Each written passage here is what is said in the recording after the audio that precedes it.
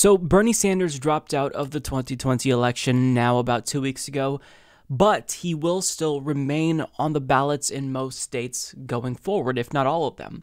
So, you know, he encouraged all of his supporters to vote for him as they were planning to, so that way he can kind of rack up delegates and at best, maybe have a little bit more influence over the Democratic Party's 2020 platform.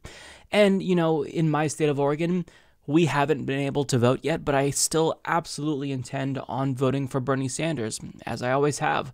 But in New York, for literally no reason other than to stick it to progressives, they're trying now to remove Bernie Sanders from the ballot. He's not going to win, he poses no threat, and all he's trying to do is rack up delegates to influence a platform that is functionally meaningless, and they don't even want to allow him to have that. So, as Eoin Higgins of Common Dreams writes, New York state election officials are poised to remove Senator Bernie Sanders from the ballot in June's primary election, a move that would deny the Vermont lawmaker's supporters the chance to cast a vote for him as president and would harm his chances of using his delegate count to influence the party's direction and push for reforms. Hard to imagine a pettier decision more perfectly calibrated to infuriate and depress younger and progressive voters, tweeted Jewish Currents editor David Klion. As HuffPost's Daniel Marans reported Tuesday, Board of Elections co chair Douglas Kellner and Commissioner Andrew Spano, both Democrats, will meet Wednesday to decide on whether or not to remove Sanders' name from the ballot. Kellner believes that a provision in the 2019 2020 budget saying the board may remove a candidate from the ballot if they make clear they are no longer seeking the office in question requires Sanders' removal.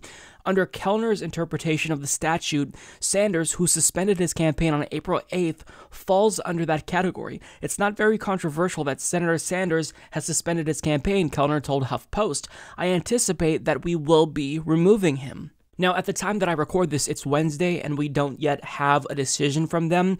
So by the time you see this video, they may very well have already removed him. Perhaps maybe they changed their mind and chose not to do this. The fact that this is even a consideration, it really shows the contempt that the Democratic Party has for voters. They're willing to disenfranchise their own base for literally no reason whatsoever. This does nothing to help Democrats it can only hurt Democrats because if you disenfranchise voters in the primary, then obviously they're not going to be very enthusiastic about voting for you in the general if they come out at all. So, what's the point of this? There is no point. It's just a matter of them trying to stick it to progressives at every single opportunity that they have. And what they're doing is effectively canceling the primary. I mean, let's let's be real. It's over, right? Joe Biden is going to be the nominee. He won. You guys won. Democrats won. Progressives lost. The left is not going to have power. So why can't you allow Bernie to just remain on the ballot and let people vote for him? Why must Democrats not just coalesce around the establishment to stick it to progressives, but even go a step further and pour salt in the wound that they've inflicted on us. Like, it doesn't make any sense until you realize that Democrats don't actually want to win. It doesn't matter if this move hurts the Democratic Party and their image. It doesn't matter that the optics are poor here. It doesn't matter that this will further, you know, detach them from any sort of relationship they tried to form with young voters. They don't care. Winning is not their goal, maintaining power is. So if they think that Bernie Sanders getting more delegates and having a little bit more sway over the platform is a threat to them, and their powers in any way, shape, or form, even if it's just, you know, when it comes to rhetoric, they're not going to allow that to happen.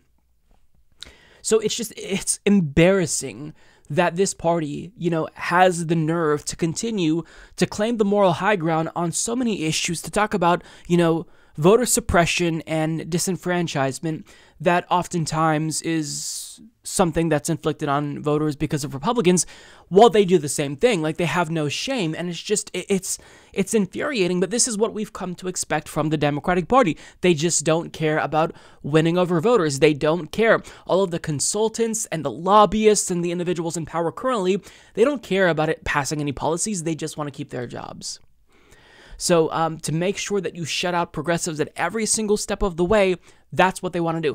Just imagine for a minute that they were this effective at fighting Republicans. Eh, you know, scratch that. Let's imagine that they were half as effective at fighting Republicans as they were at fighting the left. Can you imagine all of the things that they would be able to accomplish if they just channeled some of the energy that they use to constantly punch down and squelch progressive enthusiasm and just try to, you know, target the right? I mean, this this is like not even uh, something that's surprising, and I would imagine more states will probably follow this move. But you know, it, it's just we shouldn't allow them to uh, get away with things like this. We have to talk about this, and we have to shame them, even if they don't really care. But people have to know what's happening. They have to know, even though you know technically it doesn't matter because Bernie Sanders is not going to win the New York primary. We lost. We know it's over. We get it. We were defeated. Congratulations maybe just at least allow his voters to cast a vote if they're even still going to come out and vote. But again, they don't care, and they never will. That's why all the people in power currently have to get out. Otherwise, nothing is ever going to change in this country because we can't influence them. Nothing we say or do will resonate with them. So they have to leave, and we have to come to power. Otherwise, change is never going to happen in America.